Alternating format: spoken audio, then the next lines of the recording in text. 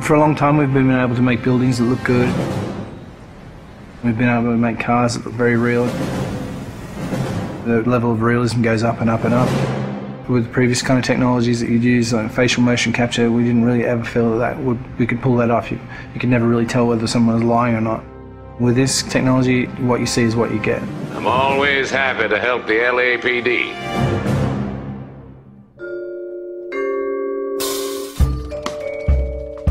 Started research on it about five years ago. Back then, only research groups were really doing it, this kind of um, 3D mesh generation from optical cameras. We thought that there might be some application for what we were doing, and this story is a detective story, so the believability of the actors' performances is key to gameplay. That's one of the key strengths of our system. We can actually see all the subtle features that animation traditional ones just can't do. Cole Phelps, traffic. What have we got? It's really acting a scene um, in, in two parts. The motion capture and then the motion scanning. The motion capture captures all the body movements and where people look, so it gives you all of the eye lines. Regulator valve. Good find. Then we come move over to this studio where an actor would typically go into makeup in the morning and then they have their hair done in a 1940s hairstyle. Then they come into a room and sit in a seat behind me, and what the rig does is capture a volume around them. You've got cameras not only around, but also looking upward and downward as well. So any kind of movement is going to cut out some of the information. And they deliver their lines, and as they talk, they get processed and turned into 3D. And action.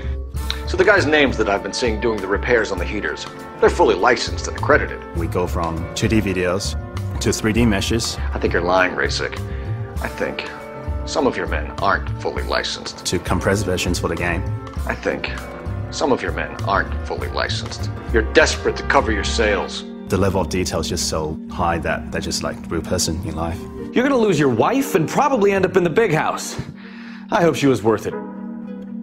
Being in the depth analysis room is a process that most people have never experienced. It's such a new technology. It's a constant close up, is what it is, but it's a close up from 360 degrees. There's something pretty special about knowing that, that you will be recreated, but in another type of form. I saw myself today. Blow it off, Cole.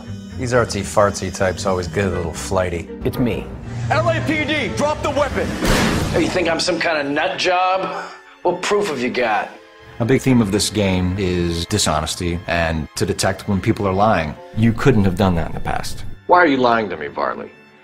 The better you are at reading people, the more things it'll reveal, and the story goes different ways if you do that. The only way you're going to get rid of me is to give me an answer. You're out of your depth here, detective, and you're asking the wrong questions of the wrong people. Having this realism really helps. You're literally talking to that person and then seeing how they behave by asking questions. Why did you kill Mrs. Terrellson? I have no recollection of the people I have killed. So what if I took a look around that car? You can't be accusing me of nothing. You've got the wrong guy.